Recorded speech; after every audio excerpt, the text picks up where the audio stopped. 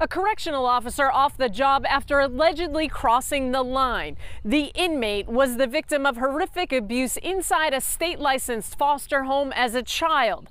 And he says he's been failed by the system once again. I'm in a mental health unit that's supposed to help me get better. It's the Department of Corrections. It's supposed to be correcting us, not making us worse. Nathan Williams says he's been psychologically tortured and assaulted inside the mental health unit at Souza Baranowski Correctional Center. The 27 year old inmate in need of mental health services suffered years of physical and mental abuse at a state licensed foster home as a child. He was also allegedly raped. He's doing time for raping a teenage girl in 2013 after he aged out of the foster care system. We spoke with him by phone from inside the walls of the prison. This call is not private. It will be recorded and may be monitored. Williams says the trouble began when this female correctional officer, Charlotte Ferro, began grooming him for a relationship. Her eye, he believes, on the money he's seeking in a lawsuit. Records obtained by Five Investigates found Ferro and other COs researched Williams' history. He and Ferro passed notes when she did her rounds, talked on the phone, and he even had a family member send her $200.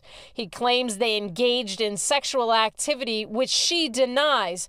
Investigators say DOC cameras couldn't prove it happened. She came to me as somebody that went through the same experiences I went through, uh, being a survivor of, of youth. Everything that she told me was a lie.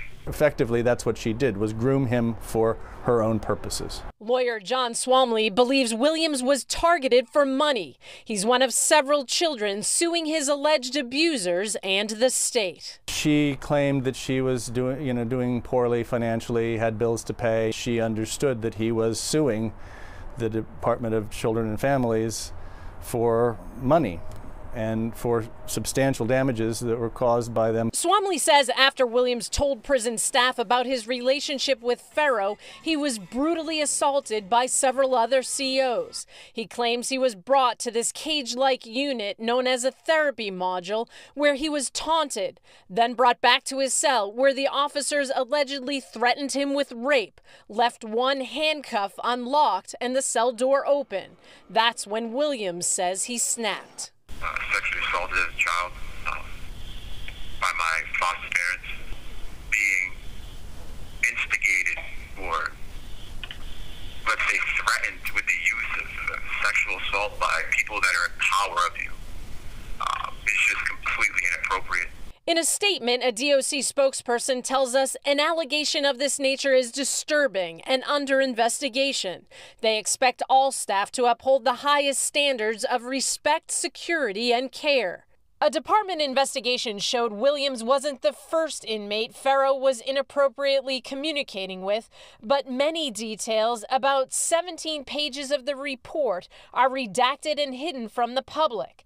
Nathan Williams is now charged with assaulting an officer and is asking the court to file criminal charges against Ferro and several other COs. He's been failed again and failed epically in that that the people that are supposed to, again, care for him and keep him safe are turning out to be his tormentors.